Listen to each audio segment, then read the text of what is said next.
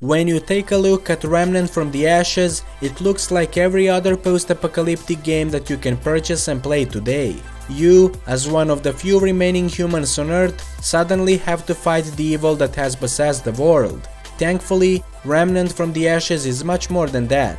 This game, well, uh, that's what I've heard from people, is the Dark Souls of the survival games. So, more frames per second are always welcome for hard games. In today's video, I'll be showing you how to improve the performance of uh, Remnant from the Ashes. This is not a video that will show you what it's like to play the game on certain hardware, this is a video that will show you what it's like to improve the performance of the game on certain hardware. Before we proceed with the optimization process, uh, you will need to head over to my website and uh, download the installation package for the LowSpecs experience. The download link is located in the description of this video.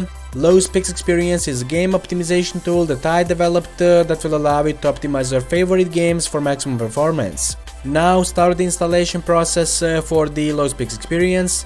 Once it's done, uh, start it from your desktop shortcut and uh, head over to the optimization catalog section. From this drop down menu select uh, Remnant from the Ashes and then uh, press load the optimization package. Now, the LowSpecs experience will automatically check if your game is supported by this optimization. If it is, press OK and the optimization control panel will load when the optimization control panel loads, simply select the method of optimization and resolution you would like to run your game on. This is something you will need to experiment on your own in order to see what works for the system the best.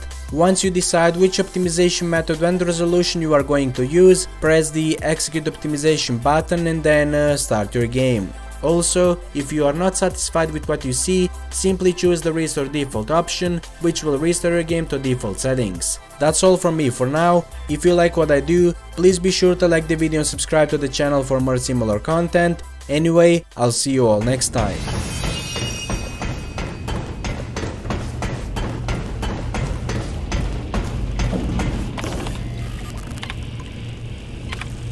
Get up there and start the reactor. Ready for gas